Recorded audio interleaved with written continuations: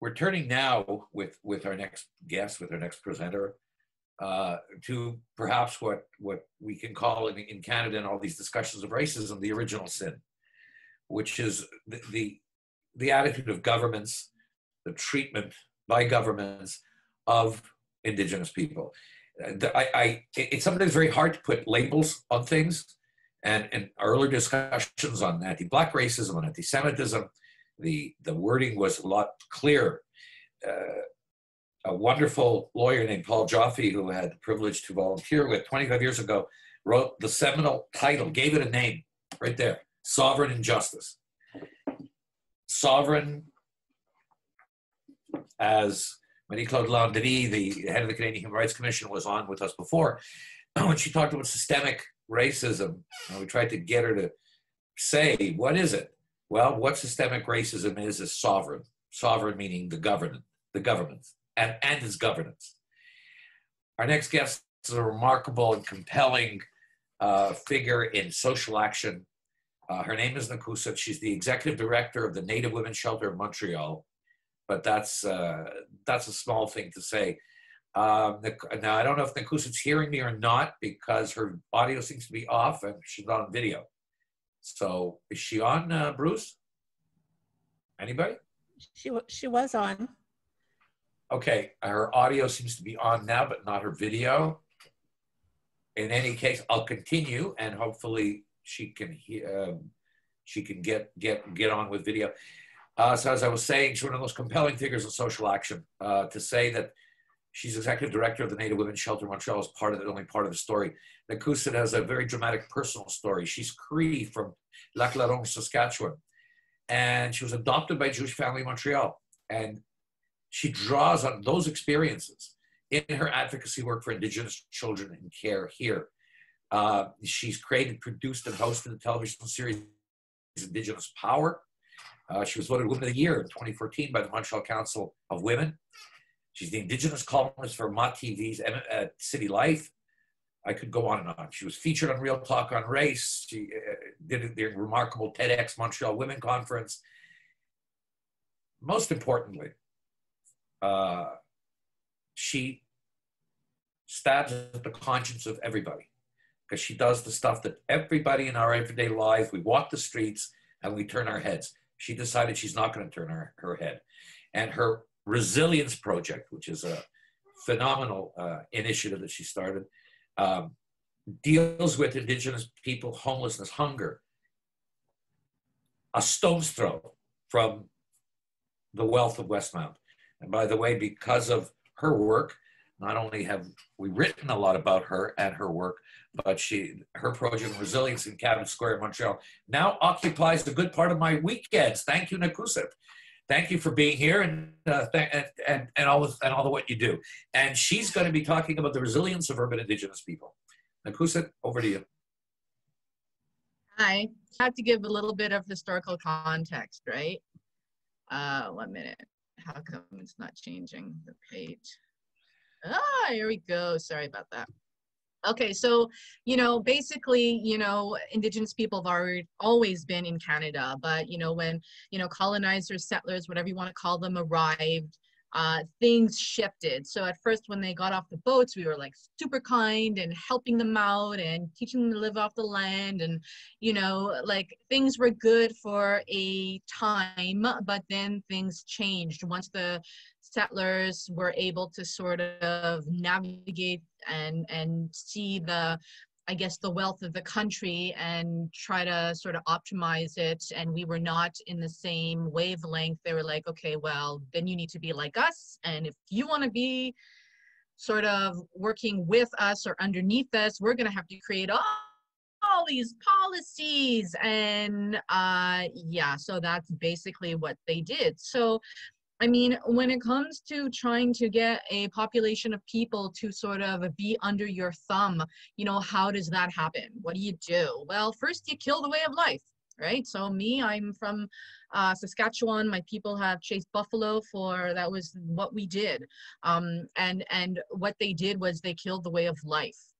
So once our people have nothing to eat, it's much easier for us to be forced onto these tiny little reservations that the government, uh, you know, had us sign over. So I am Treaty Six. I am from uh, Saskatchewan, and my chief signed the agreement in 1878 with the Queen, um, saying that basically they can take our land and that we would get a couple of benefits for it. Um, one of the benefits actually is that I get $5 a year for being uh, a treaty Indian. Um, and that has not changed since from 1878. So you'd think inflation, but no, it's not, that's not the case. So now that we're stuck on these reservations, they ended up putting an Indian agent on every single reservation so that we couldn't leave. And when we talk about John A. Macdonald, you know, that big statue that was pulled down, he was the one who said, you have to like, you know, be on these reservations. He did the forced starvation and he also allowed Indian agents to make sure that we weren't allowed to leave, and that lasted from 1885 to 1960. So that whole expression, get back to the reservation, comes from this whole pass system that was created.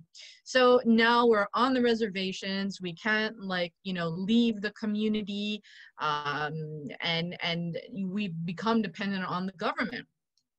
So the next thing the government decided to do was like, let's remove the children. If we remove the children and bring them to residential schools, then uh, it'll be much easier to sort of implement these assimilation processes. So I, this is a lot of information, so I feel bad for you because I'm just like mowing through it. But the Indian Act had said at one point that if you were went to residential school and when you finished schools, you were no longer indigenous you you're disenfranchised you lost your status which meant that we would all lose that five dollars all of us that are part of treaties not everyone is.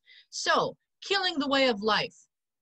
This is what they did to the buffalo. They used to have like these um, sort of you know groups that would go and get on trains and kill every single buffalo that they saw. And the buffalo because of this almost became extinct.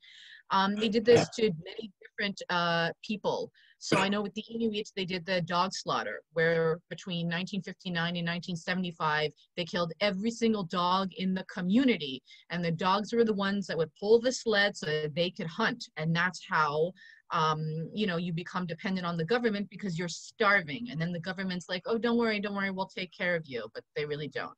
Moving on. So when I talked about residential schools, this is what they did. They took kids um, from the the communities and force them to go to residential school. And the thing is that you know the parents, if they didn't give up their kids, they would go to jail. So you know residential schools started some you can look at all different timelines but some of them happened sort of at the end of the 1800s and the last school closed in 1996 so that wasn't so long ago. And this is generation and generation and generations of children that lost their language, lost their culture, were abused in residential schools, just really horrible things happened. And my mother went to residential school, my birth mother. Uh, she went to the Prince Albert Residential School. And now in the work that I do today, um, you know, we deal with indigenous people that are affected by residential schools. So we call it multi-generational trauma. So we're finding that a lot of the people that come through the shelter have either panic attacks, insomnia, uncontrollable anger. There's a lot of cultural shame. 85% uh, of the clientele that come to the shelter have alcohol or drug abuse issues, uh, sexual inadequacies or addictions, inability to form intimate relationships, eating disorders. Sometimes the victims of uh, sexual abuse would go back to the community and also uh, do sexual abuse to others. Not everyone did it, but it definitely happens. And unfortunately, lots of people commit suicide. And the thing is that you didn't have to go to residential school to be affected. So in my community, uh, Lac La Ronge, uh, maybe four years ago, there were three girls between the ages of 10 and 14 that committed suicide. Now, they never went to residential school, but they are still living in a community that has such despair and, and hasn't properly healed from the effects of residential school that they were just like, that's it, I, I don't want to live here anymore. Uh, the Inuit communities, I think, have the highest suicide rate in the world. So when the residential schools closed down, the government decided that they uh, wanted to continue assimilating indigenous people, but they were going to do it in a different manner. So when the residential schools started to close down, they were like, wait a minute, we could do something different. We could do adoption. And the, what they did was they created the uh, Adopt an Indian or Métis program. And um, basically, they would just have social workers go to all the different homes, um, either in the community or in the cities, take pictures of the kids and put them in newspaper articles. And if there was an interest, then they would go and apprehend the child and then just put that in um, in uh, through adoption. So um, sometimes they took the kids because the parents were unfit, neglectful, and had addictions. My uh, biological mother went to residential school and she was definitely someone who did all of the above. But not every mother was like that. Um, also, the social workers got an incentive that if they sent the kids to the United States, they got a bonus of 5,000 to $20,000 per child. So there's an enormous amount of kids taken from Canada and brought to the States. Um, and they just thought that children would be better off in a white middle class home. The only problem with that is that if the government is forcing us onto these reservations, if they are not uh, creating or building houses for us, if they're not giving us clean water, if they're not doing any of these things to help us, and then you send a social worker to take our kids, it's like, you made us live here.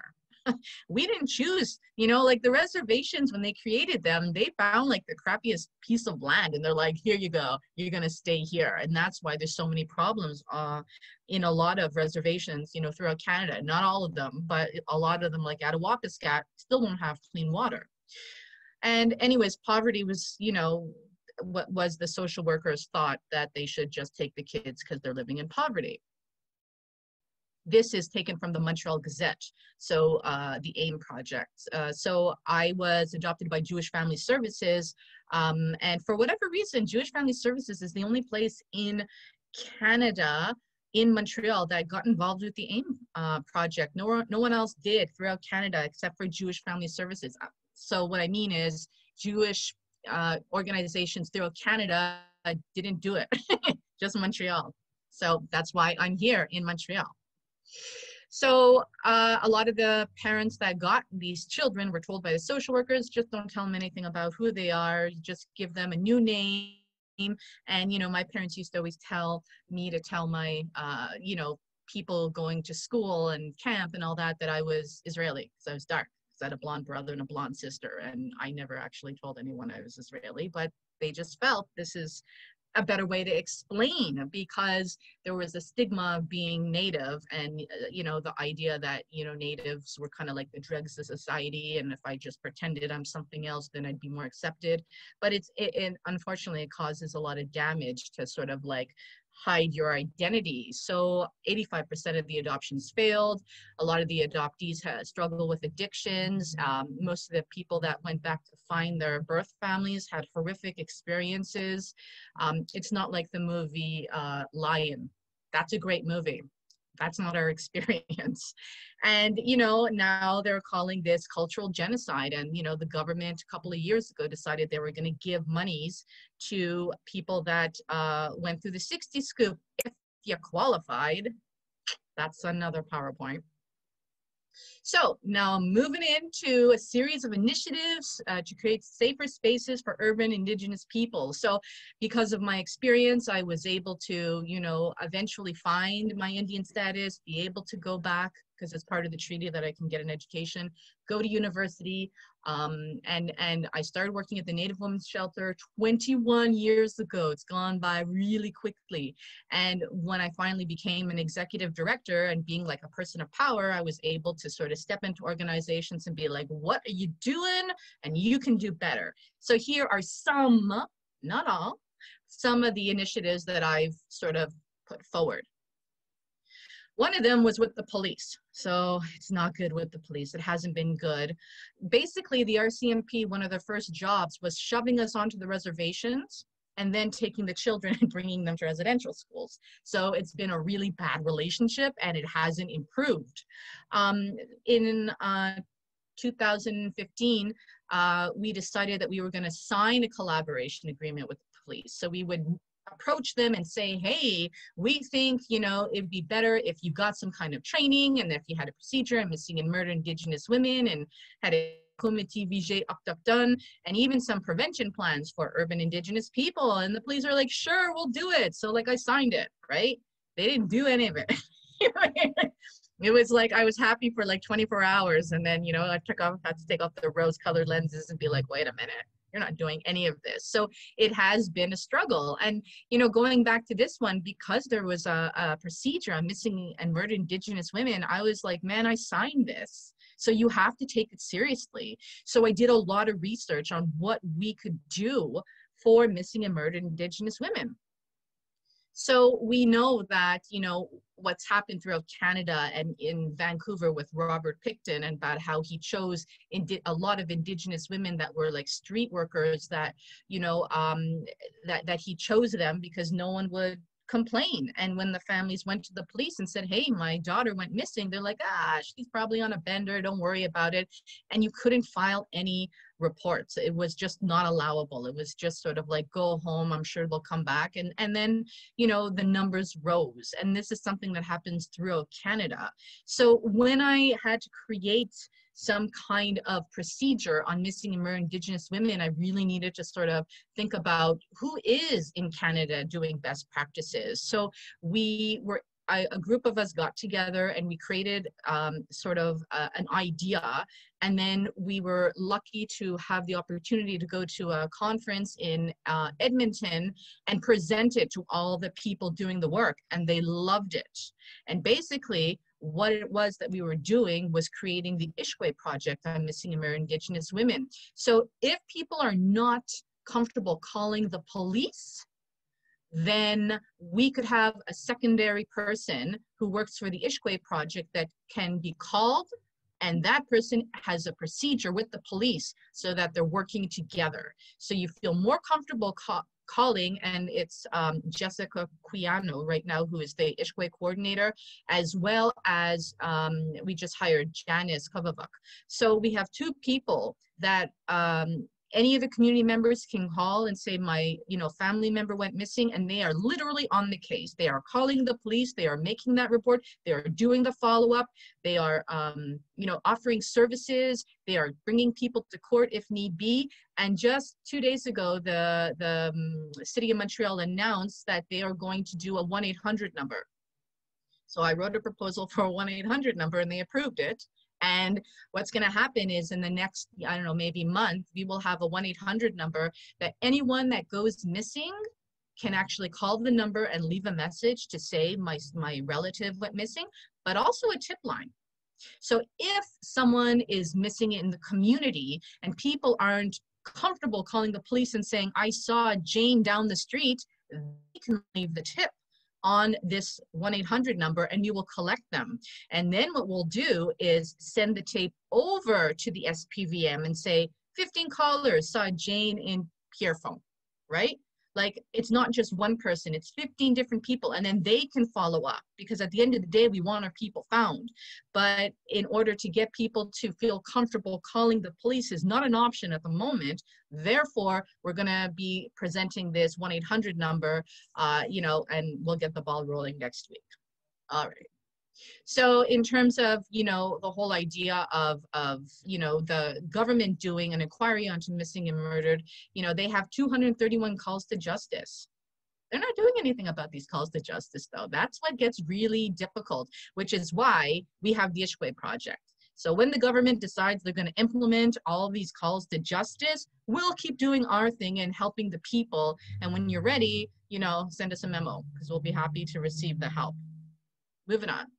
Okay, so a lot of times in my work, um, this is kind of a crazy comment to say, but a lot of times in my work, in order to get stuff done, I end up having to speak to Christopher Curtis from the Gazette to say there's a problem. And even though I've written proposals and I've spoken to politicians and I've addressed the matter to like many people, like in different levels of government, no one's doing anything. Chris, this is the problem. And then he writes about it and everything changes. And that is what happened with uh, the open door. When they left, we had about eight people in the community that died like in three months. So I think there was a total of 10, but eight were indigenous. And, you know, it was killing me because I'm like, Cabot Square is my project, and everyone in the area is dying, and um, nobody's doing anything about it. And it really kind of irked me that, you know, they built the the they revamped the Royal Victoria Hospital to make it a homeless center because a homeless man was on the streets and his dog froze to death. And because his dog froze to death, they built the Royal Victoria to make it a homeless center. And I'm like, how many people have to die that's indigenous before you do something? And thank God for Chris, he wrote this article and everything changed. And that's not something you learn in school, but now y'all do because I just shared it. So after that happened, you know, uh, we were able to um, have an opportunity to meet with the city and many different organizations. And the city's like, okay, we heard we read the article, we heard there's something going on, we're gonna do something. What are we gonna do? We're gonna give $600,000 to an organization to do something at Cabot Square. Who wants to do something? And nobody said anything. So I was like, well, I'll do something. I mean, I got my plate full, but I will do something if you don't. And um, the city was like, great, do something.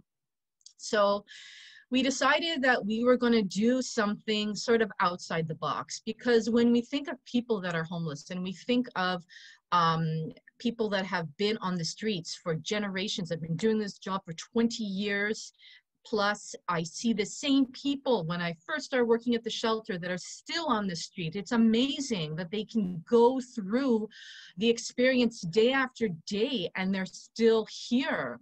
So we called the new location Resilience Montreal because we're literally honoring them for the resilience. And when we built this place, we wanted to build it in a, in a way where you walk in and it looks like a spa we wanted to we want to show the people that we think they're worthy. We're going to create a space that um, is going to allow you to thrive in whatever manner that means. So if you're just coming in for like some food and a conversation, you can have that. But if you also need, you know, medical services, or if you need to speak to psychologists, or you need addictions or help, or you need to find an apartment, we will have that too. And before COVID, that is how we ran. We had all the organizations come in on a daily basis so that people had it at their arm's length, that if they're willing to, you know, make that change, that they could because it was there. So with the Viens Commission, the fact that we are not allowed, you know, to, or we're not allowed. We're allowed to go to the hospital. We just don't get served or addiction center or with the police or, you know, blah, blah, blah. Like we were going to create it there and make it safe for them so that they can move forward in their lives and then eventually they'll be able to move on their own. So when we created Resilience Montreal, um, it wasn't very attractive looking. it was really quite disgusting. And it's she uh, who, who joined me in it. She runs Nazareth Community and myself. And we sort of run, run it. And then, you know, we hired uh, you know, Sheila hired David Chapman because he's someone who's worked in the community and everybody knows him. Um, and he has a really excellent rapport with the, the community. So he was a no brainer. And then, you know, we have uh, the one in the uh, the blue skirt and the blonde hair. That's our my city uh, contact, Annie Gauthier. And then we had people uh, from the Architecture Sans Frontières that were like, hey, we hear you want to create something beautiful. Let us help you. The thing is that working with them, they don't actually build it they gave us the architectural design. I was like okay i want you to paint the wall in a color that as soon as you walk in you feel calm. What color is that? And they created everything. I mean they really went over and above but we needed people to actually build it.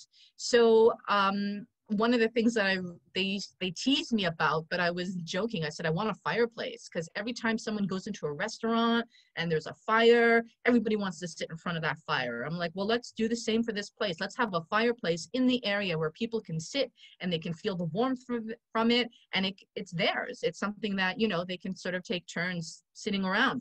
So um, basically we were able to get 150 volunteers that came in and made the place gorgeous because i'm telling you it was really quite disgusting when we stepped in and you know we were able to speak to the media and more and more people came in and we did it super quick i think i signed the agreement or the lease with um, in like the October the 21st, and then we opened on November the 14th. So we had a lot of work to do. There was disgusting carpets that had to be ripped out. All the you know walls had to be painted we had to build different things and make it safe and you know all these people came in around the clock and made this an absolutely beautiful space. I mean we were literally throwing down tiles the morning of the uh, opening but we got it done you know and when we did the opening we had a lot of the politicians that showed up.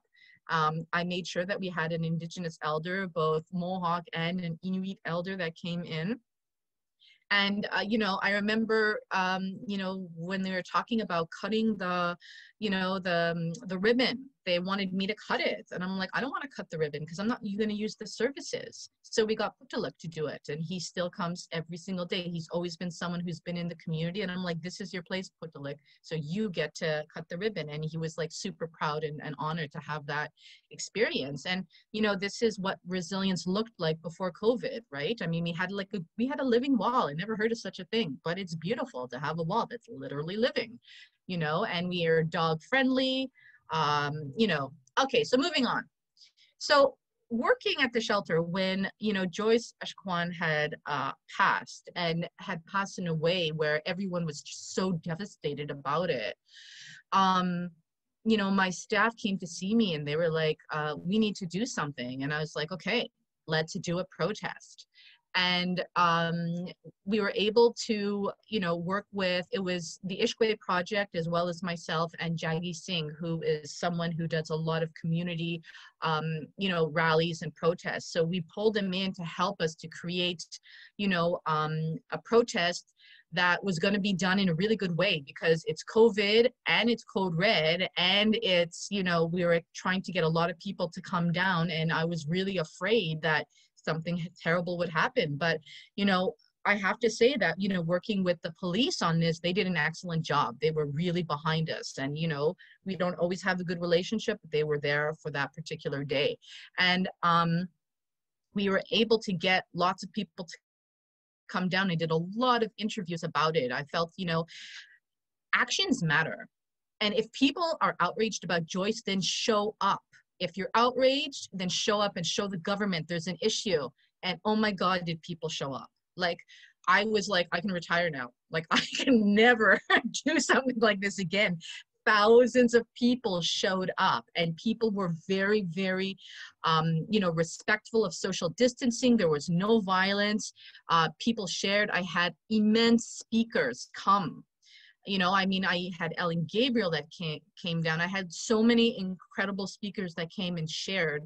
And um, it's funny because literally by the end of this march we got a, a, cbc came to see me to say that they were doing an inquiry now into joyce's death. So actions matter. Showing that thousands of people believe that you know um, that there is systemic racism and and um, you know, that people should be treated in a good way at the hospitals. That really pushed the government to change. And I don't know if you heard the news, but, you know, Ian Lafreniere, who is the Secretary des Affaires Autochtones, just announced $50 million to the health services specifically for indigenous uh, training and to have navigators and all these things. So, you know, uh, he says it's from the Viens Commission. I'm saying, ha, ha, no, it's from this protest that you're doing it, but it doesn't matter. Either way, it's happening. And this is a good thing, but this is what you have to do.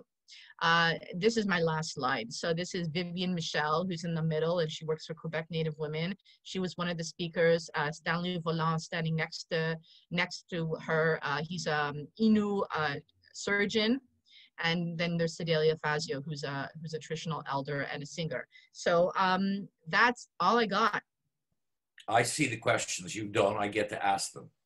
Okay. Uh, well, first of all, Chris Curtis does great work, but obviously you don't know what we've written about you guys, and I'm going to send you a whole bunch of stuff. Good. We're, oh, we're to 230,000 readers, by the way, every week. Oh, for the past Okay. four years. okay. Yeah, okay. Okay, so the question there is is a simple question. What about all the federal money that goes to all the First Nations? I'm going to expand that. Don't don't don't don't start with faces. So I'm going to give you a tougher question.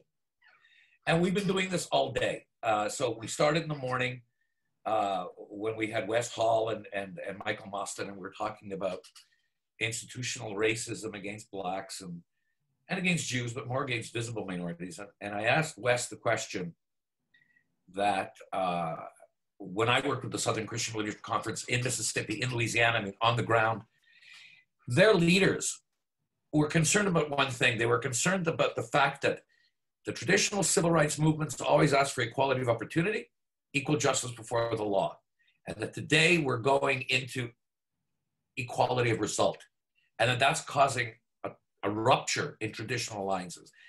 I'm just giving that to you as an example because I'm going to expand this simple question. So I've worked with with with uh, uh, regional chiefs, national chiefs from Phil Fontaine, Matthew Coon Come, Ted Moses for decades. They have one concern, and they don't know how to answer this question. So I know what's in the mind of this questioner. All this money, all these billions of dollars are going, but that's not the problem. The problem, of course, you pointed it out. The problem is that the First Nations and the reserve system have become uh, almost institutional prisons. Yet, how do you progress? How do you fix the institutions, the infrastructure, with all the money the federal government is spending? At this, on on the on the one hand, you've got to change the Indian Act to make mobility uh, easier, but on the other hand, somebody is not doing something within this government First Nation system. How do you get accountability for on the on the government side for the proper use of that money? I don't know. I mean, listen, I live in I a mean, that's, city. that, that's the problem at Genesis, that the system doesn't work at the beginning. Because the government's uh, position is always, well, you know, we're doing the best we can and we're, we're funding the First. Nations to 11, 12 billion dollars a year. Yeah, but they're not going to the right hands. So that's the genesis. But I listen, I don't live on a reservation. So I, understand. know that funding comes from, you know, the Indigenous Services Canada and it pays the band and then the bands each decide how they're going to allocate their monies. And every community is different. And usually they have like their, uh, you know, financial statements that you can take a look at and see how, where they've spent the money. Um, I, if I need money, I apply to different organizations. I get very little money from the feds. Uh, recently with ISC, Indigenous Services Canada, I applied for COVID money. I get money from them in terms of having psychological services, but I go elsewhere. I go to private foundations. I go to Service Canada.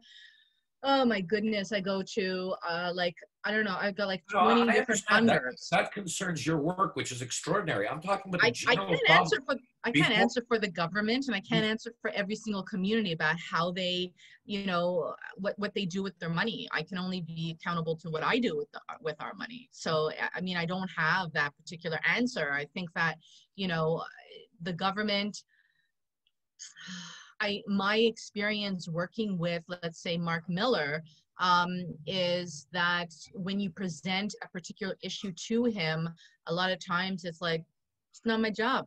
My job is something else. That's not really my job. That's somebody else's job. They'll get back to you. They never get back to you. So I, I uh, only asked that question because this is something we've looked at for decades. Because before Indigenous people get homeless and get on the streets in, in urban centers, there's a failure wherever they are, Hmm. and there's a lot of money that they're entitled to, and and yet it's where it goes. And it started with the Indian agents, yes, but somehow government after government after government has not been able to fix it, and then it gets down to you, and your level has to fix the human tragedies. yes, and it's a lot. yeah. Here's a question from Professor Stephen DeForth Wire, who was on earlier about uh, uh, race and uh, immigration. He asked, What does reconciliation look like to you? Alternatively, how would you explain the concept of reconciliation? That means that, okay, what does it mean? It means that uh, basically the non-Indigenous people are going to make efforts to try to uh, address the, the different um, issues. So if you look at the TRC's 94 recommendations, somebody should do something at some point. It's not up to us to do it. I end up doing it, but it's not up to us.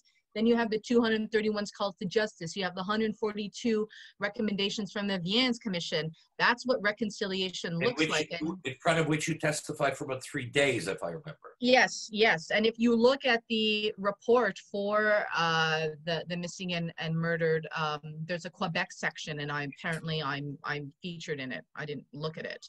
Um, the thing is that you know the government needs to step out and do more. And what we end up doing you know is reaching the different institutions and asking them to do something begging them knocking on the door. I've been working with youth protection for years and they don't even let me in the door anymore. Like i do everything that i can.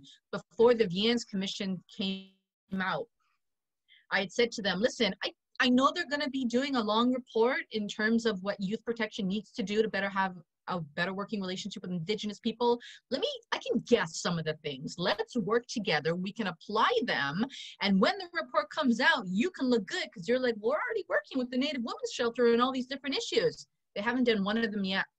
Came out last year, they haven't done it. So that's what reconciliation looks like to me concrete steps on how you're gonna like look at all these reports. There's so many reports. Look at them, read them, apply them. And if they're not applying them, then it's up to the allies to say, why aren't you applying them and how can I help? Yeah. Sorry. DYP is not someplace you want to go or look for for solutions, but that's another discussion. I'll talk to you on the ground about youth protection. Uh, I Mhm. think we have time for one more question. This is a kind of direct question about resilience. And this uh, questioner asks Do you provide indigenous medicine at resilience for those who need medical care?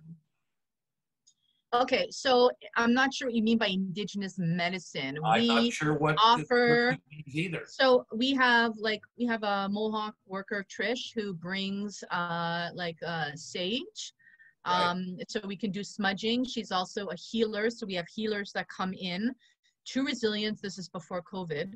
Um, we offer that. The Native Women's Shelter has a sweat lodge at the Boca- Botanical Gardens. So um we when we can we we do but it's been very challenging since COVID hit because uh, you know that's like another story. But it's like we were in the park for a very long time, for up to six months, and now because of COVID, we can barely get anyone into the building because of social distancing and the the measures that you know that we have to put in order to be safe.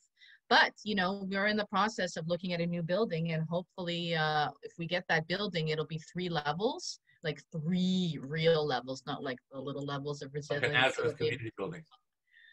Like absolutely gorgeous building. Like I, you know, it'll be the opposite problem that we had with the 4000 St. Catherine, where it was so gross and we had to fix it. This place is way too beautiful. We're gonna have to like, you know, like literally one of the floors has two real fireplaces. We only need one. We're gonna have to get rid By of a the lot of way, there's a lot of people listening to this, and I want to encourage everybody because I was involved with the gift to uh, resilience, which is allowing them to build showers at some point.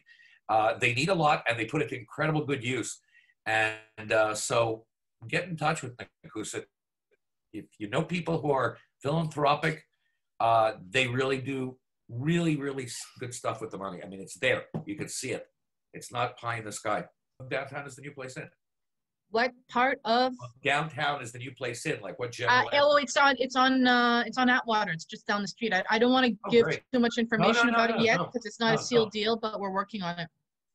Nakuset, it's been a pleasure. Thank you for your time. Thank you for your passion, and thank you for your commitment. You're doing the hard stuff. I'm trying. Take care. Take care. All right. Bye.